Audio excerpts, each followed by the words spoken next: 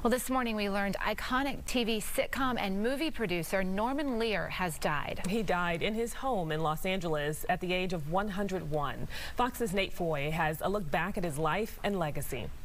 You paid $1.49 for no caffeine? I can pay the same $1.49 and get caffeine. Cello! How would you like one across your lip? He broke new ground in the world of television. Norman Milton Lear was born on July 27, 1922, in New Haven, Connecticut. Growing up, his parents fought a lot, a situation he would later use as a source of humor in his work. Lear earned a scholarship to Emerson College in Boston, but left early to serve in World War II. As an officer and radio man, he flew 52 combat missions. After the Army, Lear went into public relations and later moved to Los Angeles to become a comedy writer.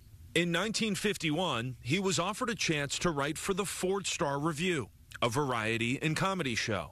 Before he knew it, Lear became a writer for Dean Martin and Jerry Lewis on TV's Colgate Hour. By the 50s, he began film writing and producing. In 1959, Lear and director Bud Yorkin created Tandem, a production company. Together, they made a series of light comedy movies. But Lear missed TV. He wanted to produce a hit television series. That brought him to Britain, where Lear's TV revolution was born. He bought the rights to Till Death Us Do Part, a controversial British comedy that featured a bigot and his bickering family. Lear put his stamp on it, and in January 1971, All in the Family debuted on CBS. The show was a hit, with the loudmouth Archie Bunker and his family becoming popular TV figures. Guys like us, we had it made. Those were the days. A year later, Lear did it again, coming out with Sanford and Son, a comedy about a black junkyard dealer. Now, I looked that up in the, in the paper this morning. You know what it's going for? 38 cents a pound. Well, why don't he know that? Just because he's white don't mean he's dumb. And then Maude, a spin-off to All in the Family that starred Bea Arthur. These shows did more than entertain.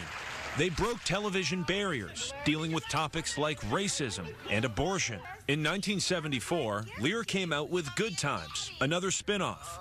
The first TV series to put a black family at the center of its story. The 80s saw Lear step away from TV and into the world of politics. He worked on behalf of People for the American Way, a liberal group he helped launch to battle conservative groups like the Moral Majority. It's made the country and the media uh, enormously aware that there is, you know, that, that this idea that people need to worship God or, or, or, aren't going to get to heaven unless they believe the way I believe uh, is uh, insidious. It isn't the American way. Lear developed new TV projects in the 90s, but was never able to recapture the spark that made his shows in the 70s so successful. In 2021, Lear became the third person to receive the Golden Globes Annual Lifetime Achievement Award for television. At close to 99, I can tell you that I've never lived alone. I've never laughed alone.